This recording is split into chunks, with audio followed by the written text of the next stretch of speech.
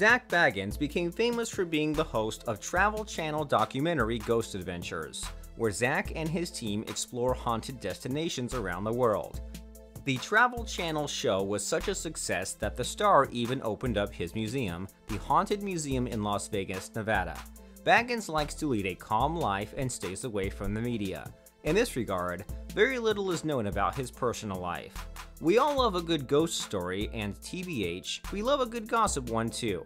What we're dying to know is if Zak Bagans is single or not. While he does not have a wife and kids, we still managed to find out something interesting. Let's see who he had a relationship with. Christine Dolce, 2010. Bagans was linked to Dolce for some time, but nobody knows how long they were together. She was at one time known as the Queen of MySpace and was basically one of the first social media influencers. The model passed away in 2017, and Zak expressed his deepest condolences to her family. Holly Madison, 2019 through present time.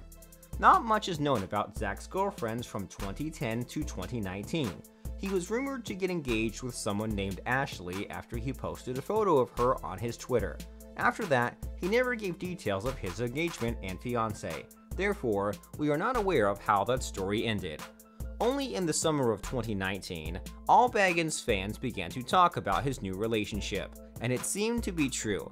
His chosen one was former Playboy model Holly Madison. It all started after Holly visited Zak's Haunted Museum in Las Vegas. As it became known later, the two got acquainted long before it. The lady finalized her divorce from Pasquale Rotella after five years of their marriage and was open to a new relationship.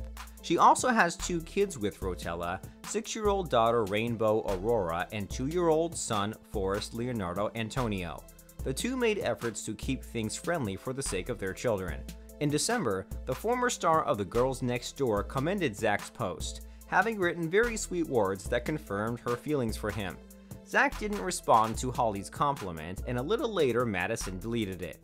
On Holly's Instagram, we can also see pictures that are a reference to ghosts, so she can be either a fan of the show or a fan of Zak. Presumably, they are still together.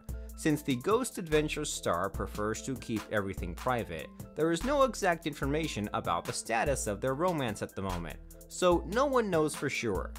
Do you want to see more? Subscribe.